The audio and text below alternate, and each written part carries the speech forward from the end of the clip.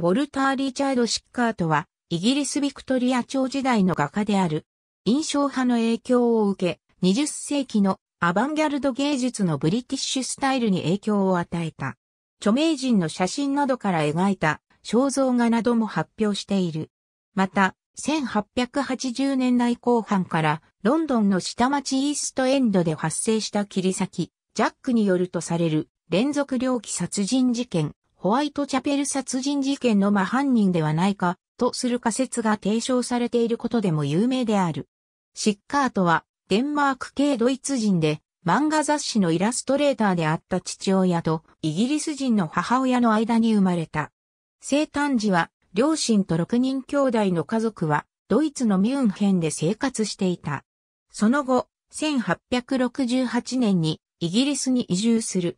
父方の祖父もデンマークでは名の知れた画家であり3代にわたっての画家となる。また、ウォルターの妹のヘレナ・シッカートは、やがて著名なフェミニズム活動家となり、自伝も残している。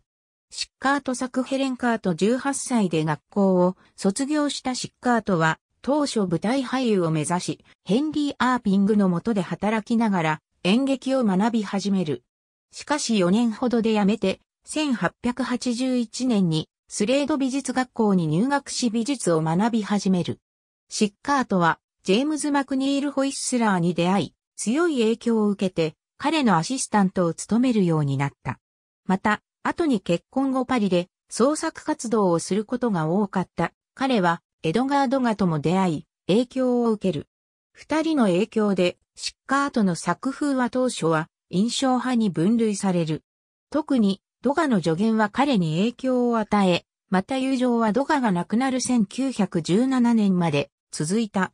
1880年代後半のデビュー当時のシッカートの作品は舞台演劇の描写や背景に鏡に映った空間を描き出すなど写実主義的なものが多かった。1885年、彼は政治家の娘エレンと最初の結婚をし、多くの時間をフランスのディエップで過ごしていた。1894年と1904年にシッカートはベネツィアを訪れ、当地の風景画を残している。特に1903年から1904年は著作のためにベネツィアを旅行しており、売春婦をモデルとしたと思われる絵画などを多く制作した。1893年にはシッカートはホイスラーの援助下でロンドンで美術学校を始める。また彼の絵画は1886年にロイヤルアカデミーに対抗する形で若手の画家たちで設立されたニューイングリッシュアートクラブで多く展示された。1889年に開催されたイギリスの印象派展覧会にも出品した。そのため、彼の作品は1894年、1895年には、オーブリー・ビアズリーが美術担当編集主任を務めるイエローブックにも寄稿された。ジャック・ザ・リッパー、エスベッドルーム・シッカート作、カムデンタウンの殺人シッカートは1899年に離婚し、双方に戻った。その後、1905年に自身のアトリエをカムデンタウンに置き、創作活動を続ける。1907年9月11日、カムデンタウンでエミリー・ディモックという売春婦が彼女のアパートで殺害される事件が発生する。犯人は成功後、眠っている彼女の喉を切り裂くという残忍な手口で彼女を殺害した。この事件はカムデンタウン殺人事件としてセンセーショナルに扱われることになる。シッカートは数年前よりラフが鉄のベッドにオーガしている題材を多く絵画にしていたが、1908年にシッカートが発表したカムデンタウンの殺人は裸の婦人がオーガしたベッドの横に男性が座り、絶望したようにうつむく姿が描写され、この事件を彷彿とさせ、論争の的になった。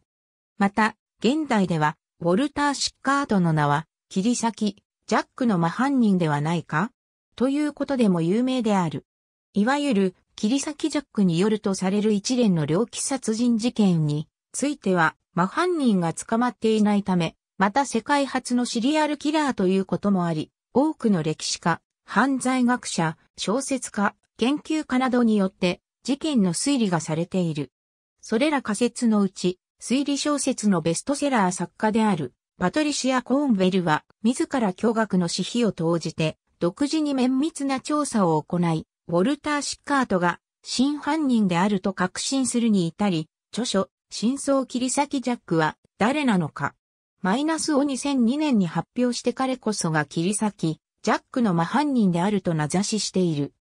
コーンウェルは2001年にスコットランドヤードへたまたま見学に行った時に切り裂き、ジャック事件の犯行現場を案内してもらう機会があった。その時にこの事件について科学的な捜査手法を試みた人がいないことを知り、自身でそれを試みてみようと決心し、この事件の調査にのめり込むようになっていく。また、その時に容疑者の一人として、ウォルター・シッカートの存在を知り、彼の絵画や性格を研究し、現存する切り裂きジャックからとされる手紙211通を調査し、いくつかの状況証拠を積み重ねた後彼が真犯人だと確信するに至る。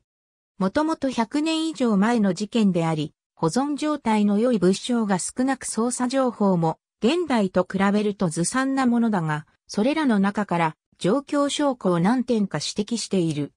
手紙に関する考察プロファイリング絵画に関する考察パトリシア・コーンベルが著書の中で指摘しているシッカートイコール真犯人説については物証に乏しいため反論も多く出された。